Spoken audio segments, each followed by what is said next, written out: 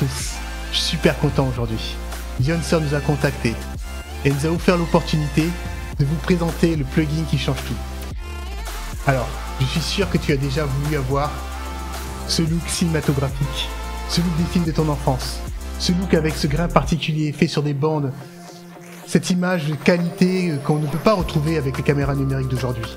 Si tu es un peu vidéaste, vidéaste pro, et eh ben est fait pour toi. C'est facile. Grâce à DaVinci Resolve, tu insères et tu télécharges le plugin. Si cela t'intéresse, c'est le moment d'en profiter. Grâce au code promo et Action 10, tu peux bénéficier de 10% de réduction sur tous les plugins Dioncer. Bon alors là, je vais te montrer rapidement comment utiliser Dioncer dans DaVinci Resolve 18. Ok, on va essayer de se rapprocher d'un look cinéma dans étalonnage avec un seul node. On va faire simple. Le plan a été filmé avec ma caméra Sony A7S3 avec le format S-Log 3. Le plugin prend en charge un grand nombre de caméras avec des mises à jour régulières on a la possibilité de faire directement la conversion colorimétrique qui est de très bonne facture et de régler la température, la teinte et l'exposition. J'ai très vite remarqué dans cet onglet que les profils de caméra sont faits sur mesure et c'est impressionnant à quel point ils répondent à une haute qualité esthétique, bien différente de celle de DaVinci Resolve. La compensation de l'exposition est appliquée techniquement avec la conversion de la couleur source. Je règle la température et les teintes et je passe à l'angle film. Pour moi, c'est le plus important, le plus intéressant. Ici, on va simuler le rendu d'une pellicule. J'ai choisi Kodak Vision 3 500T. Celui-là, je l'aime beaucoup. Ce que je vous conseille, c'est d'essayer tous les profils pour ajuster et trouver un résultat intéressant. Les profils de film sont le cœur et l'âme de Dioncer Pro. Chaque film est échantillonné avec précision avec toutes ses caractéristiques.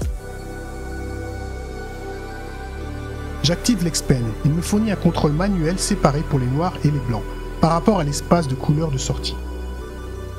Je te conseille de l'appliquer juste après le profil de film sélectionné, ce qui te permettra d'avoir une image dynamique en gamme et d'obtenir des espaces de couleur assez bluffants.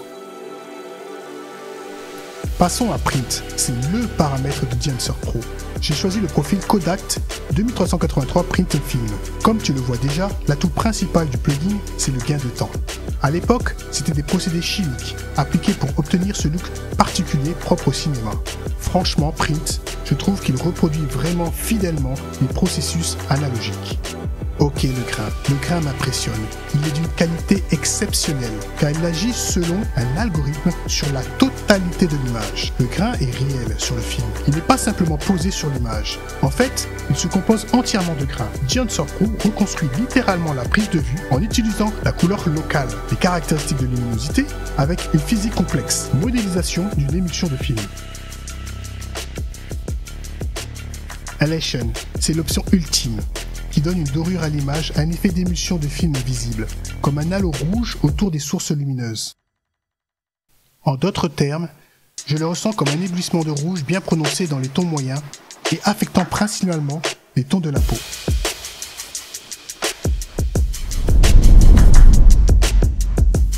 Bloom. C'est l'effet très apprécié dans le milieu en ce moment.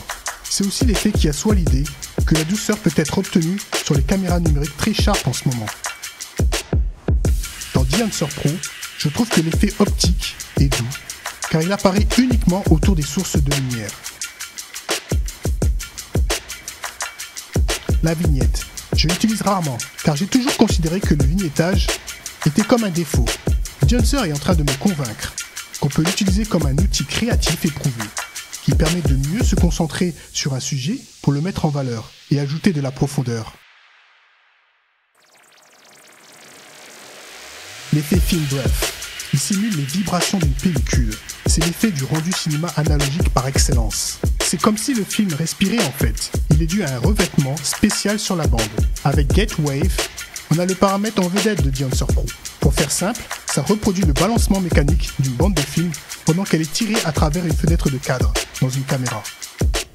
Sur l'output, on peut régler l'impact global de tous les effets sur l'image. Avec Look Generator, on peut enregistrer un look qu'on pourra réutiliser. Dans Options, on peut régler la qualité du traitement de Dancer Pro. On a fait le tour des options de Dancer Pro sur DaVinci Resolve, mais je tiens à préciser qu'il est aussi disponible sur Final Cut Pro et Adobe Premiere Pro. Moi, je suis déjà conquis par Answer Pro. C'est vrai, j'avoue, c'est un gros investissement. Mais il te garantit à coup sûr une extrême qualité professionnelle. J'ajouterai qu'il faut un setup assez puissant pour l'utiliser aisément. Je t'invite à t'abonner à la chaîne pour nous soutenir et découvrir nos contenus.